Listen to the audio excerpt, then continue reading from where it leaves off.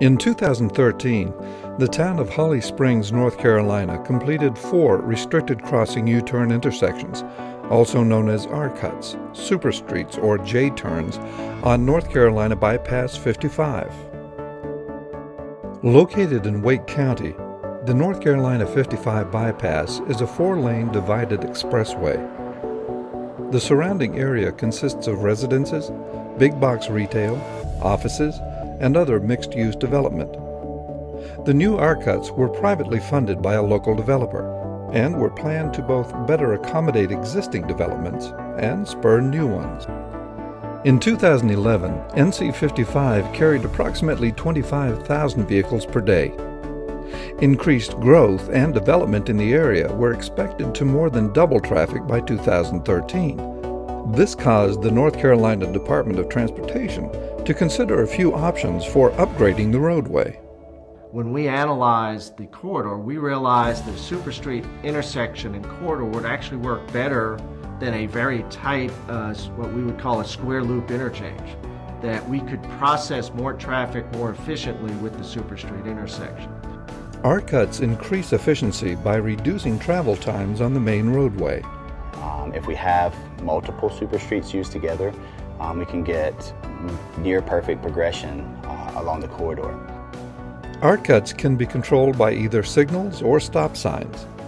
Three of the R-cuts on NC55 are controlled through signals. The main intersection and both U-turn intersections are signalized.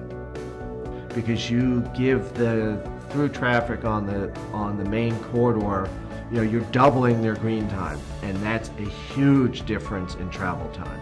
Pedestrians and bicyclists are accommodated by a signalized crosswalk to the median of the expressway. At NC 55 and Green Oaks Parkway, pedestrians can use the median as a refuge. While crossing, they do not have to worry about turning vehicles conflicting with their path. R-cuts also reduce conflicts between vehicles.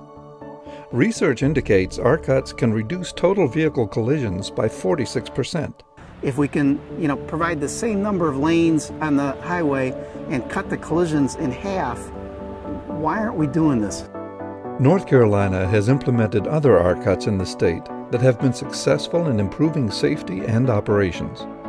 Engineers with the City of Holly Springs expect the NC 55 R-cuts to handle increasing traffic for the next 20 years.